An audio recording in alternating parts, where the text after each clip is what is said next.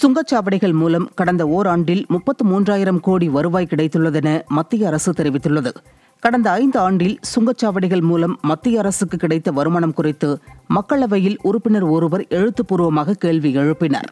அதற்கு பதிலளித்த மத்திய சாலை போக்குவரத்து மற்றும் நெடுஞ்சாலைத்துறை அமைச்சர் நிதின் கட்கரி தமிழகத்தை பொறுத்தவரை இரண்டாயிரத்து பதினெட்டு பத்தொன்பது முதல் இரண்டாயிரத்து இருபத்தி இரண்டு இருபத்தி மூன்று நிதி ஆண்டு டிசம்பர் வரை ஒட்டுமொத்தமாக பனிரெண்டாயிரத்து எழுநூற்று முப்பத்தெட்டு கோடியும் இரண்டாயிரத்து இருபத்தி இரண்டு இருபத்தி மூன்றாம் நிதி ஆண்டில் டிசம்பர் வரை மட்டும் இரண்டாயிரத்து எழுநூற்று எழுபத்து நான்கு கோடி ரூபாயும் வருவாயாக கிடைத்துள்ளதாக கூறினார்.